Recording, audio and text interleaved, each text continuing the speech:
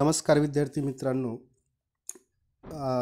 दोन मार्चपासून सुरू होणाऱ्या प्रथम वर्षाच्या विद्यापीठाची ऑनलाईन परीक्षेसाठी मुलांचा टेलिग्रामवर प्रश्न येतो की वेगळी लिंक येणार का एक्झामची? तर ज्या लिंकने आपण मॉक ऑनलाईन एक्झाम दिली तीच लिंक असणार आहे.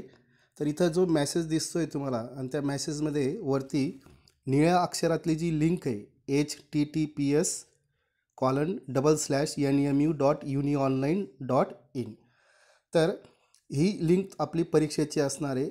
आणि इथं ह्या लिंकवर तुम्हाला क्लिक करायचं नाही जर तुम्ही क्लिक केलं तर तो जो मोबाईल ज्या कंपनीचा असेल त्या कंपनीचा जो ब्राउझर असतो त्याच्यात ती ओपन होणार आहे. तर आपल्याला फक्त इथं एक काळजी घ्यायची ती लिंक कॉपी करायची. म्हणजे त्याच्यावर क्लिक करून ठेवा. तर कॉपीचं ऑप्शन येईल. ही लिंक कॉपी झाली. त्याच्यानंतर काय करायचं आहे की तुम्हाला ती लिंक हा बघा हा खाली क्रोम ब्राउझर आहे त्या क्रोम ब्राउझरवर क्लिक करायचं आहे आपल्याला. क्रोम ब्राउझर क्लिक केल्यानंतर तिथं सर्चमध्ये ती लिंक पेस्ट करायची. तिथं प्रेस प्रेस करून ठेवायचं. हे बघा पेस्टचं ऑप्शन येतं. तिथं पेस्ट करायची तुम्हाला. ठीक आहे?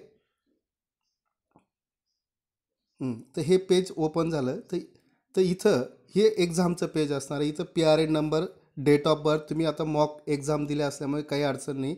ॲक्टिव्ह टेस्टमध्ये तुम्ही पहिले कोणत्या याचे आहेत? फॅकल्टीचे आहेत. आर्ट्स कॉमर्स सायन्स तीच सिलेक्ट करा. आर्ट्ससाठी ह्युमॅनिटी बी कॉमसाठी कॉमर्स असेल सायन्ससाठी सायन्स असेल. त्याच्यानंतर तुमचा विषय आज तुमचा कोणता विषय त्या विषयाचा कोड तो हॉल तिकीटमध्ये उपलब्ध आहे तो व्यवस्थित बघा. विषयाचा कोड विषय तो व्यवस्थित बघा. ते सिलेक्ट केल्यानंतर ॲक्टिव्ह टेस्टमध्ये मग लॉग इन करायचं. तर अशा पद्धतीने तुम्ही एक्झाम देऊ शकता. आणि ती तुमच्या जर मोबाईलमध्ये एम आयचा जो ब्राउझर असेल तो कृपया डिलीट करा.